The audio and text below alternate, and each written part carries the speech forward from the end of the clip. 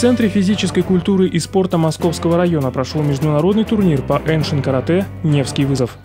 В соревнованиях приняли участие спортсмены из Петербурга, Ленинградской области, Твери, Зеленогорска и других городов. Всего более 100 человек. Самым юным каратистам 7 лет, самым старшим 15. Победителей выбирали в каждой возрастной группе. Несмотря что восточных единоборств достаточно большое количество, ну, мы стараемся держать марку, проводить э, качественные, хорошие турниры, привлекать ребят.